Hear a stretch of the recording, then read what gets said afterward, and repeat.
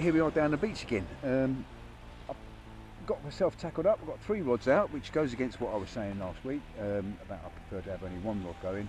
Um, but we're, we're going to try for three distinctly different species today. So I've got a, um, a stinger rig out, hoping to pick up a decent eel. Um, I've got a cod bait out, which is a cocktail of worm, cuttlefish and cart. Um, we've talked about cart before. Um, it's, it's essentially it's um, the guts of crabs that have been frozen into sausages and then we, we cut them into sections and put them in a bit of finger bandage and then the finger bandage is hooked onto the hook. Um, and that, is, that melts in the water and releases a beautiful scent into the water which um, hopefully attracts a nice big fat cod to, to the bait that's left on there, the cuttle and the worms. And then the third rod I've got out there is, uh, because I heard that there's been some sole caught again, um, I've got a sole rig out. Now, I'm suspecting I'm going to get plagued with whiting on this and, and actually rattling and banging as we speak. I'm just rigging up a, a replacement um, rig for it and once I've got that rigged up I'll bring that and see what we've got on there so that we can do a quick turnaround. So that's what we're going to be planning to do. So distinct three species, cod, conger and whiting. Oh, sorry, not whiting, um, sole. That's what we're hoping for today. So let's go. Right, so what I'm going to do is I'm going to show you how my cart cocktail baits. Um, we've got the cart in a, a chilled thermos because we need to keep it frozen because we don't want because once it melts it just turns into a goo. Um, I've got some other stuff in here. Uh, inside this foil there's actually some cart salted frozen wings but we're not going to use that until later on possibly. So back into the freezer and close the lid down. So here's my little sausage of cart. Keep it wrapped in foil, again it just helps it stay frozen a bit longer. And it's a sausage, sausage of um, crab guts essentially, but it's frozen into a sausage and then you cut the sausage, the sausages are about that long when you, when you get them, you cut them into three uh, and then you put them into a bit of um, finger bandage just to act almost like a, a rubby, rubby dubby or chum. Um, also I'm going to put on here, I'm going to put myself a couple of worms. These aren't the greatest of worms. Um, we'll put three of those on there and we'll put a bit of um, cuttlefish. This is a cuttlefish bone. This cuttlefish is still fairly frozen, which makes it a little bit of a challenge to put on little tiny cuttlefish again. But I've done with a slightly longer one. Let's try and cut a longer section of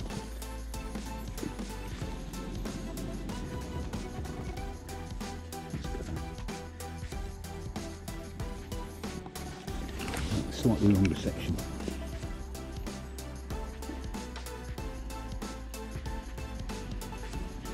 I'll carry on defrosting whilst I'm rigging up this um,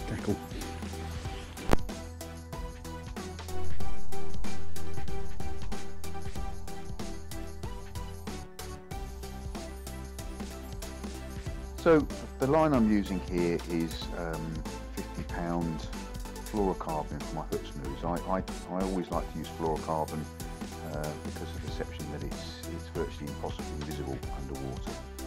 Um, just in my experience that I catch more fish when I have fluorocarbon on. Uh, I've, I've, threaded a piece of um, silicon tube up the line and then I'm putting on uh, two hooks, one as a pennel and then the main hook is a um, 4 um, Aberdeen uh, and I'm doing three twist grinner knot to tie that on uh, courtesy of uh, Mr Sandman who showed me this knot on, on YouTube and I must admit I am now using it all the time. Uh, very quick to tie and it ties on it's, it's very accurate. You can, you can virtually um, predict where the knot is going to form uh, and once it's tied and it's pulled tight cinched down it, it, never slips. Excellent knot. You can get rid of any tag ends if you want to get rid of tag ends. Um, yeah great knot. Thank you very much uh, Mr Sandman for that. If you don't know what I'm talking about have a look for Sandman Tackle uh, Talks on YouTube. There's a very good YouTube channel. It's been going for some years. Uh, so many different tips on uh, tackle. Um, and, and as you know, I've got, I'm back to beach fishing after 20, 20 to 25 years away from it, and there's so many new things that are out there. Um, and I've learned so much from that. And in fact, the bait, this cart, is something I picked up from the Sandman Tackle Time Tackle Talks. Uh, so here we go. Um, so I'm going to put a couple of worms on here as I talked about, um, and all I'm going to do at the moment is just thread them up the line. So is going to dangle like they're, like they're dangling off a washing line. You'll see how this uh, all ties in in a minute. So we've got three worms going in, going through the thick end of the worm, but just hooked through, not threading them up the line as, as you would do normally. Uh, third worm, uh, because you know what we're trying to attract is we're trying to attract cod, so we want a nice big mouthful of a bait for them. Uh, so we've got three three nice worms on there. Uh, I say nice worms; they're not the biggest of worms, I have to say. Um, Tony's tackle for some reason not been getting particularly big worms at the moment. Well, that's what he tells me. And then we're going to hang a bit of cuttle on there.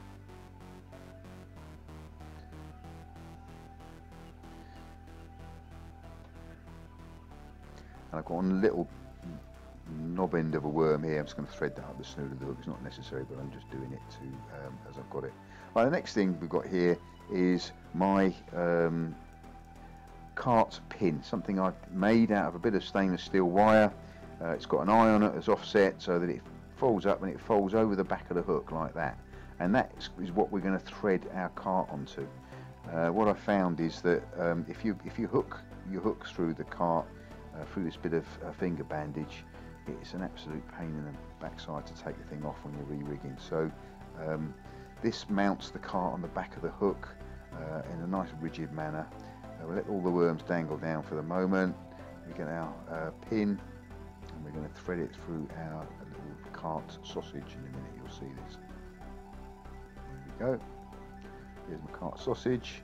Pin's going to just thread through one side of it.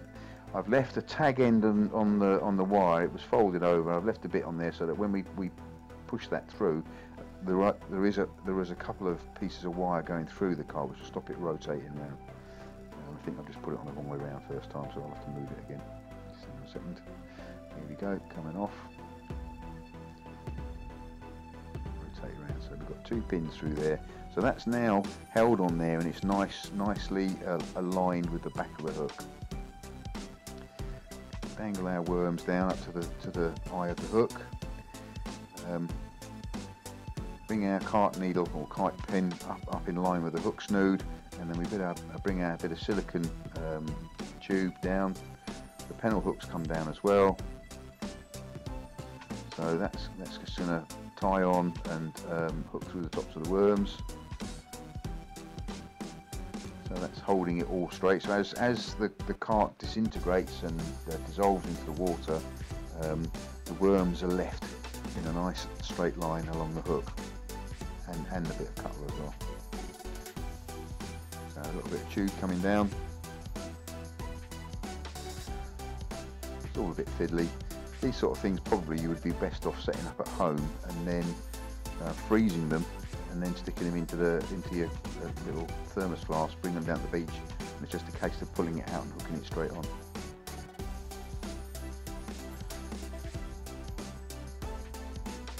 There you go, so the tube's through there. So that's holding that pin along the back of the hook. Got our dangly worms now. Readjusting going on. Sure the hook's not buried inside the um, finger bandage. And then we dangle those down across the cart bait and then good old bait elastic. Where were we without bait elastic? I don't know. Um, I, I, swear by it now. I'm just going to bait elastic this whole thing together. Tie the top end of the worms in. Right to wrap the worm round it. I think that's probably not the best way of doing it. Next time I'll do it, I'll them parallel to the cart bait. Just gathering them all up in the bait elastic. Using quite heavy duty bait elastic. This is the, you know, one of these winders. They come with three levels of bait elastic, and this is the, uh, the stronger one.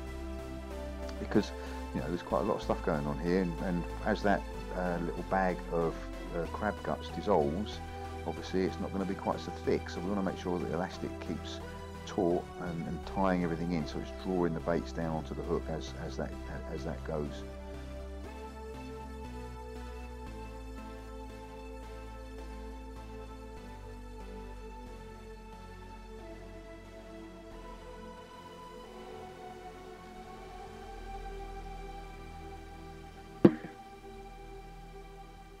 Okay, so there we can see I'm winding it all together now, uh, getting plenty of um, elastic around this bait. I have to say this is probably isn't the best best of these baits that I've done.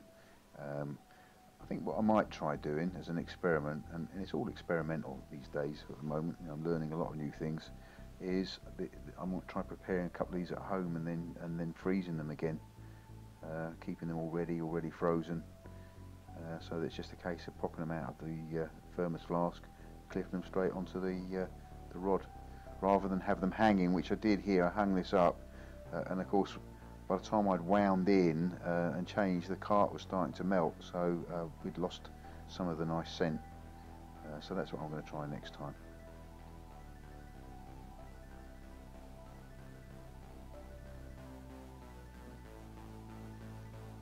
So anyway, all the time um, I was um, preparing that cart bait, my sole rod, or the rod that's got the sole rig on it, was rattling away. Um, I suspected it might be whiting, and of course, um, when I went down and wound it in, sure enough, two little whiting on the hooks. Um, the third hook had probably had a whiting on it because the bait had gone, but um, no whiting there. I'm only using very small hooks because it's a sole rig, so they're only size 4 hooks, so um, quite likely that whiting's mouth passed in and out and was gone. Um, just have a quick look at this sole rig.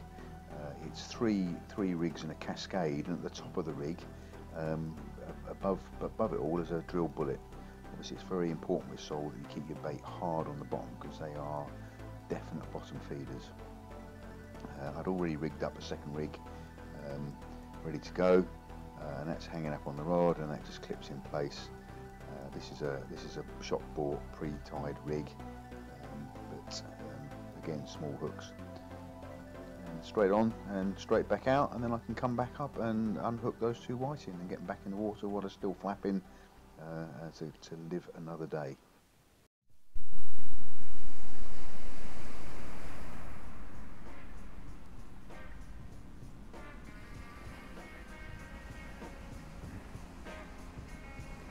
Right, there you go. Literally just touch the water and I've got a whiting bite on that little rod already. I'll leave it to rattle for a bit. There's three hooks on there. Um, I mean, it, it is designed for catching, um, in fact this one's got two hooks on it, but designed for catching better fish than whiting, but you never know. Leave it for a bit, see if we can't pick up a target species, which is old Sylvester sole. Um, yeah, okay. Oh, there it goes, rattling away. That's definitely white, isn't it? Definitely white, if you're seeing this. In the beam of my new headlamp, um, Fenix HD65R, I think it is. Got it from Tony's Tackle in Eastbourne, and so far very impressed with it. Very impressed. Be interesting to see how long the battery lasts. Okay, catch you later. There after after all the grizzles and um, filthy looks he gave me last week uh, I've actually bought him a beach bed um, just a little bed that we can put on top of my tackle box and bring down the beach with us. Uh, it's taken him a while to find it and in fact he, his go-to place was to, was to get himself tuggled up on all the, the rod bags again but I've showed him the bed and so far he seems to be liking it. Right well the stinger works in as much that um, it's hooked a whiting which has stayed on there patiently for all this time.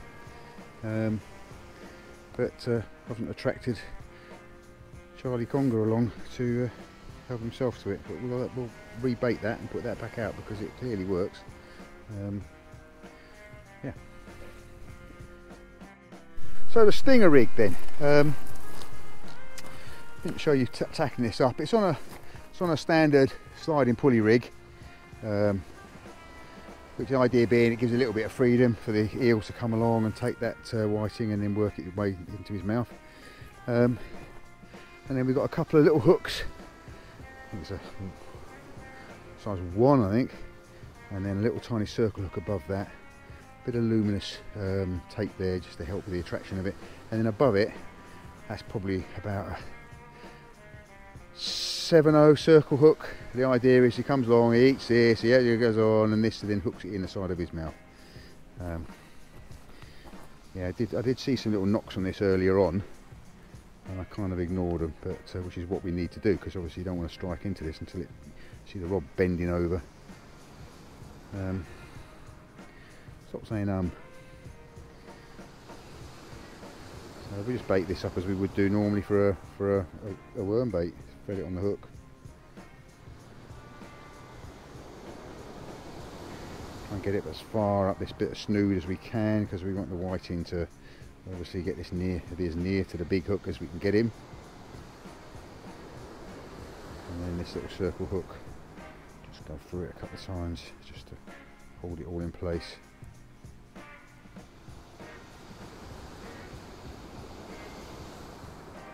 and the circle hook is kind of on there as a bit of insurance um, because fish tend to self-hook themselves on circle hooks which is what we want. We want them to self-hook on this. Uh, we don't want it not, we're not striking into it. And then of course sliding pulley rig as we as we discovered before put the uh, hook into the splashdown clip. Amazing bit of kit these. Um, there's some stuff called Triton um, Trident from the northeast the guy out there is producing some bait clips which look pretty good as well and I've ordered some to see how they go. I'll give you a review of them.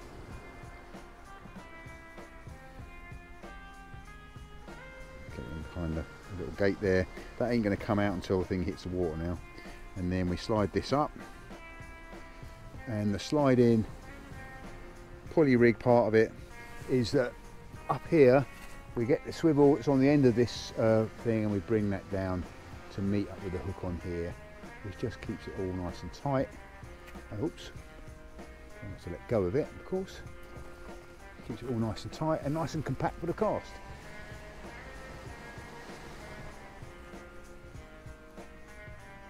Yeah I was a little bit dubious about this rig when I first heard of it because I thought well you, your lines your hook snood is sliding up and down the trace so you're not it's not not a formed a, a solid hook up but it seems to work make sure our leads are in nice and tight. We want this we don't want this lead pulling out. I mean that white ends are rattling on the end of it. We want that in there so that when the cod and conger comes along and finally swims off with that big hook in his mouth the hook sets.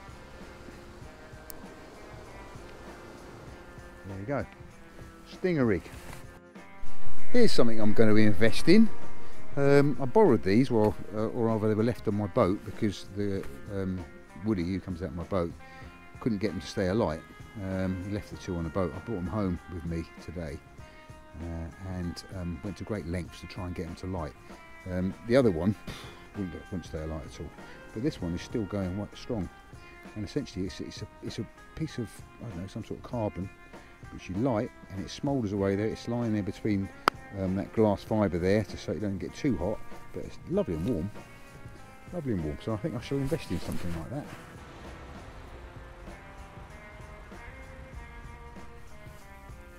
I'm going to put my money on calling this I would say dogfish or little strap conger although generally with either of those species by now I would have felt some sort of a tug let's go down near the water's edge though just in case it was something worthy of uh, giving a bit of respect to.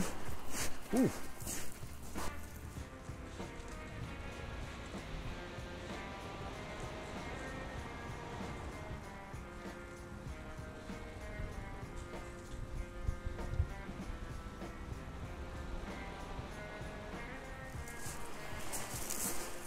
What we got?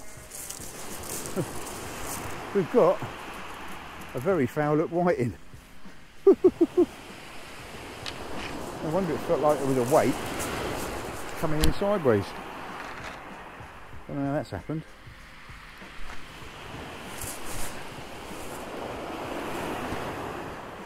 But that's what's left of my bait. Definitely mullered.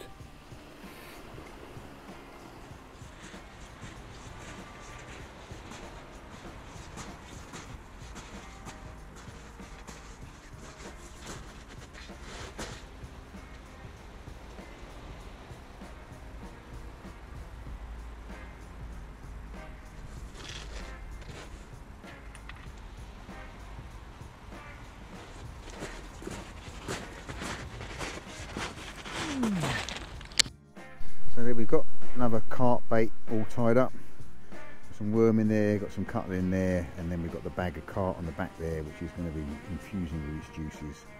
Um, either going to attract smaller fish or big old fat cod's going to come along and take the whole lot of that. Yeah, I'll, I'll, do a, a, video in a while showing you how to make these um, these sausages.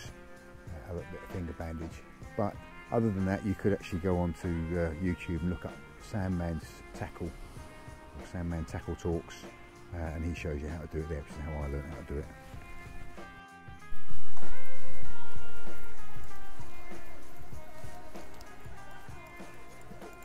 And there we go, water whiting.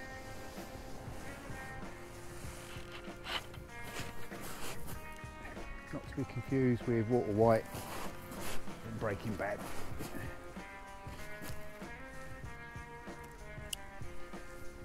Put my sole rig back out. Was the whiting rig. Try a bit of sole. James Brown, the godfather of soul.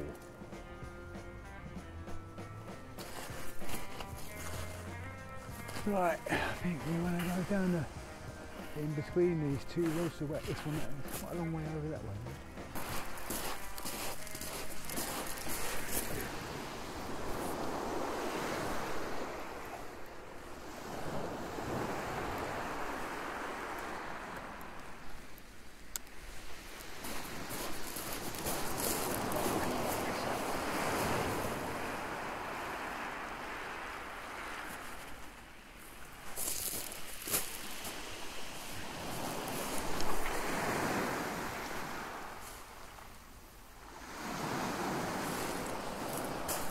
Take the twists out of these lines. I have a tool for doing that.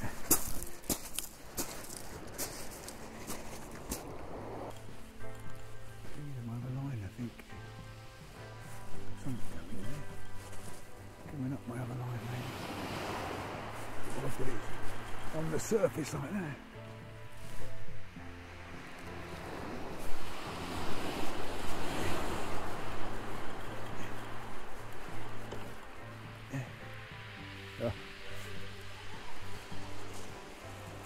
Dogfish, dogfish right in.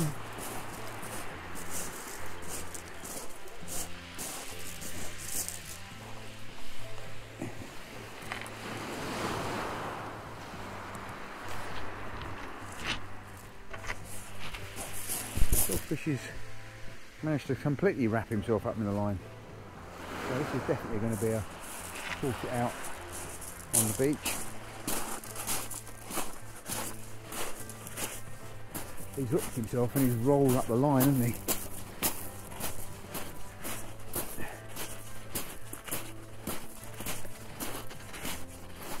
I thought it was something with a bit of weight, but uh, wasn't actually putting up much of a fight. So, sort you out in a minute, mate.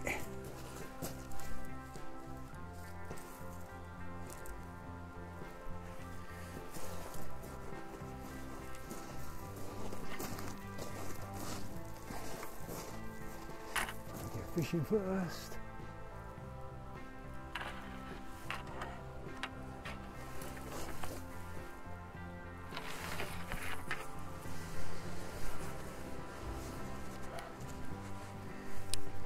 Trying um, a braid shock leader, which I've never done before.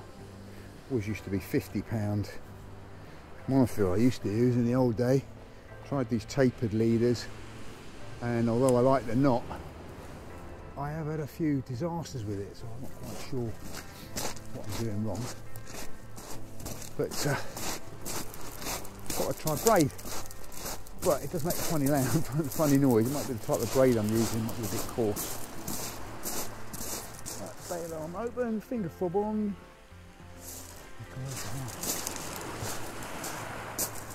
Between the rods, onto the ground.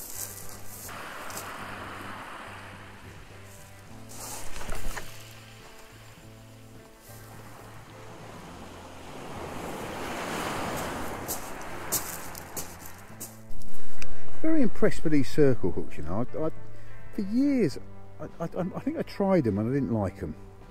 I mean, these aren't actually circle hooks; they're um, something that's very similar.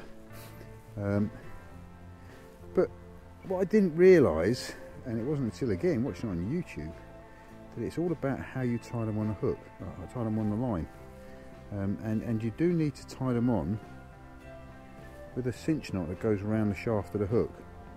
If you don't do that, they don't seem to work. But that, they do work. Um, and the beauty of it is, is that they always seem to lightly hook the fish. Quite often it's in the corner of the mouth. Um, yeah, and, and, as we saw there, those two fish have been on that rig for quite a while, I would think. Well hooked, but not too deeply hooked, not gullety hooked. They've both, both returned live to the sea. Very tiny bit of worm that.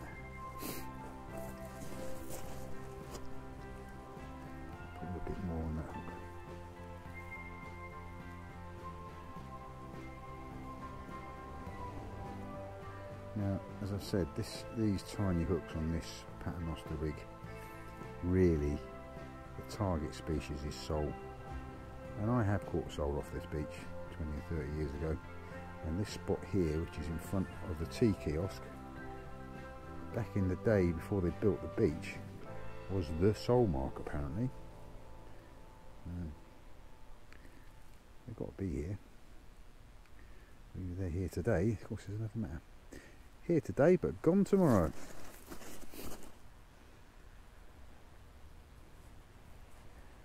So tiny little mouth and a sole, so only need a little hook and a small amount of bait. and it has to be really anchored on the bottom because they they go along they've got like a, a fan and they're just shuffling through the through the bottom picking up their feed so always trying different ideas this this on here is an imp it's another type of um, bait clip idea is it clips into there, the water hits this little thing here and releases it, flips through it through the, the arm there and releases.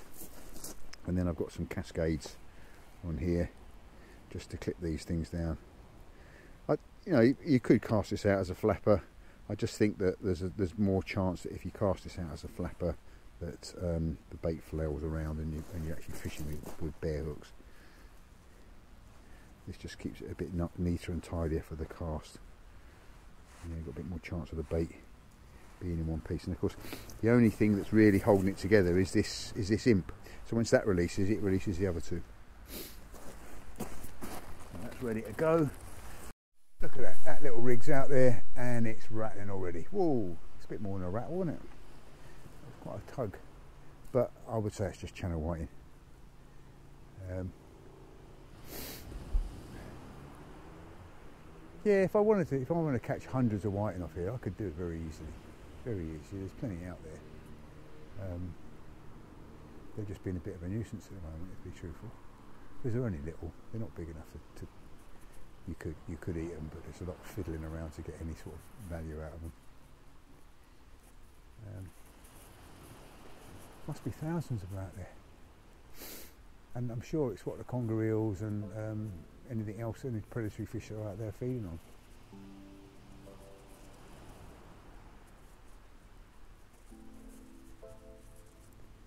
Okay, grub, I'm hungry. Okay, so time for tea. Uh, and what we're having for our tea is uh, it's American military food. It's called Meals Ready to Eat, or MRE meals. Um, and this is what um, soldiers eat when they're in active service. Um, and and there was a period in my life when I was um, working in a very sandy place and this virtually was all we got to eat every day. Um, so let's have a look how this works. I did, did one of these on my boat so if you've seen this before, spin forward. But you get your meal and this, in this case, it is chili and macaroni. Mmm. Wonder. You get your chemical cooker.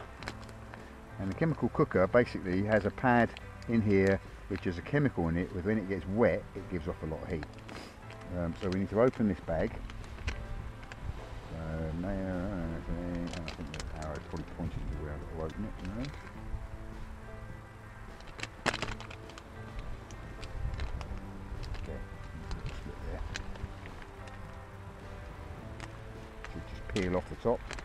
That.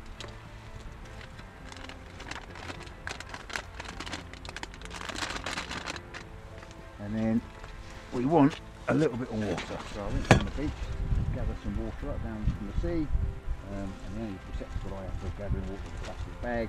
So only it only takes a very little amount.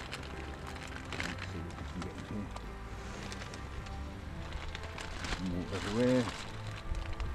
Oops, leg. And it, as it says there, do not overfill, and I might have overfilled it a very tad, but not, not too much to be concerned about. And then what we've got to do is you get our meal we want to warm up. Ooh, got a rattling knock on that rod at the moment. And then we put that in the bag. And it wants to go on top of the chemical cooker. So that needs to be at the bottom so that it gets nice and wet and hot. Now what I found in the past when I've done this, if you use seawater, which we have here, it seems to cook faster, it gets hotter. If that's true or not, we'll find out. There was a good one the other day and it wasn't very warm at all.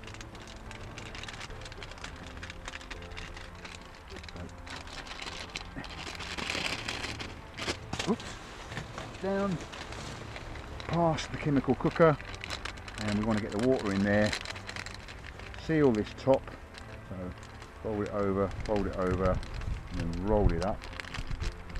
The dog, dog scene we get foxes around on this beach sometimes.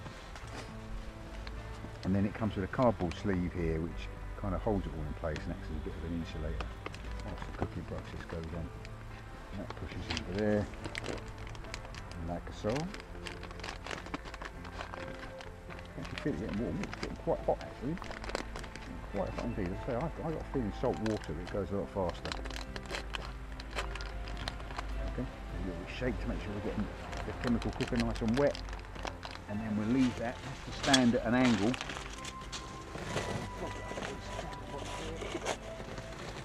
Sits there five or six minutes. Six, creaking. if there's a loud bang and then the end, and the, the video ends, it's because it's blown up and killed me. All right. Okay, so let's uh, turn off this, this, and we'll come back to it in a minute.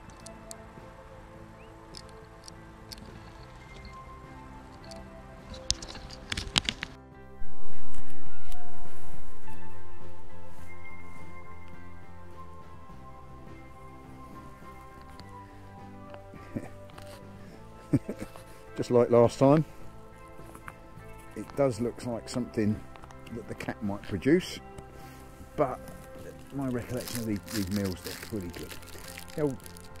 It comes with a nice plastic single-use plastic spoon. Um, let's see.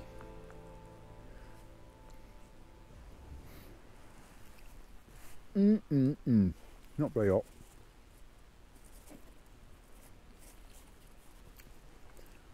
bags of energy because it's obviously meant to keep an infantryman going for the day.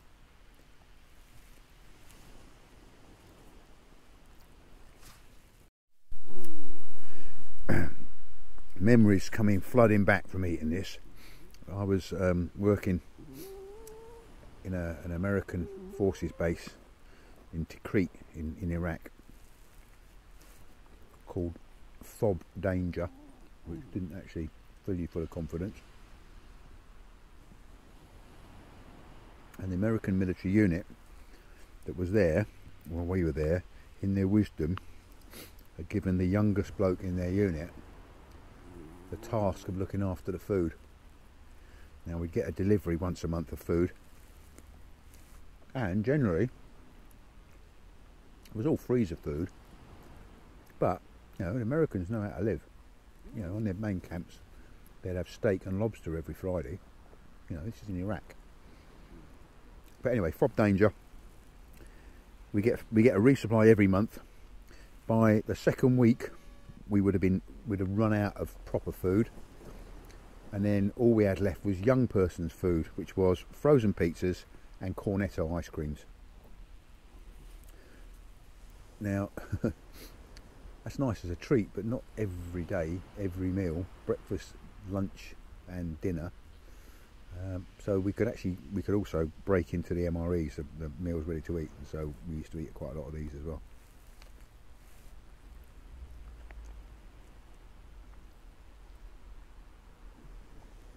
Took me a long time before I could eat a cornetto again. Right, now let me open this up so the doggy can have a lick.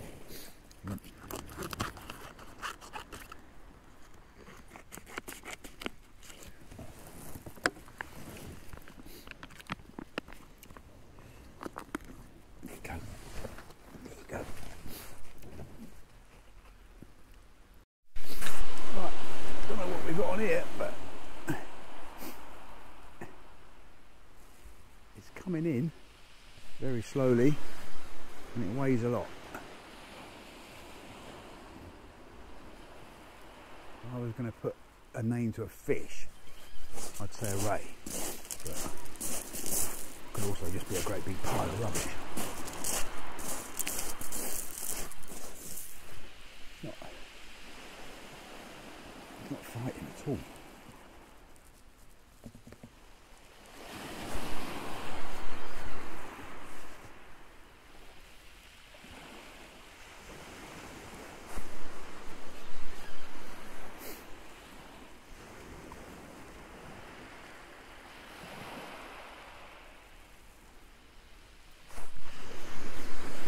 Just gives a tug back.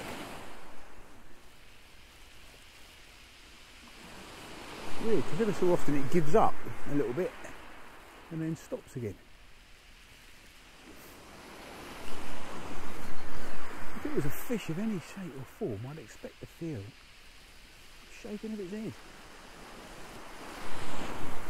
Crab, lobster.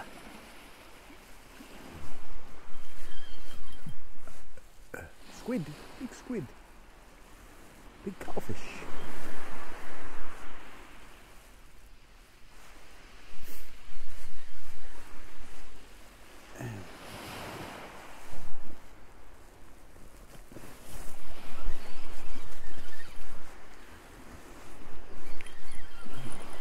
Gave up a little bit then and came in and then stopped again.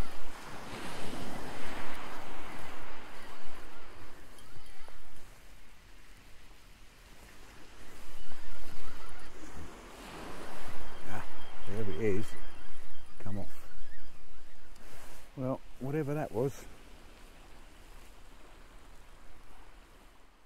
So what we've got here is a whole calamari squid and I've packed it with a bit of cart, uh, cart wings, salted cart wing and they're elasticated in place uh, in a pennel with a little bit of luminous um, rubber strip at the top as well.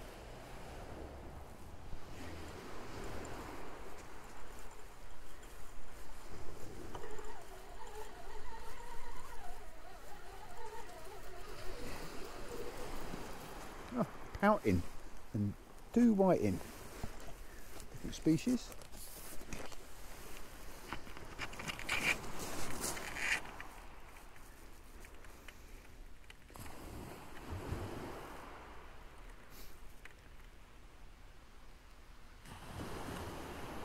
They're all nicely hooked.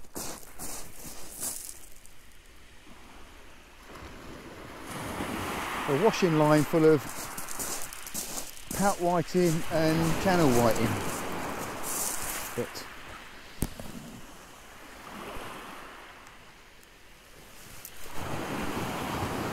I reckon if we stay fishing now, we'd start catching fish. Early start tomorrow. The teeth on these guys. Like little needles.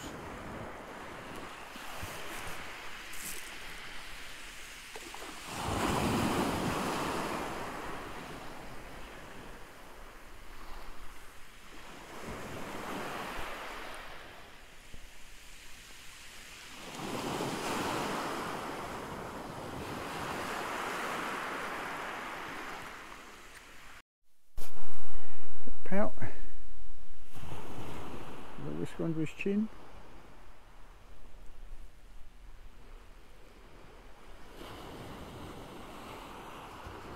Set of teeth on him. We're off the beach.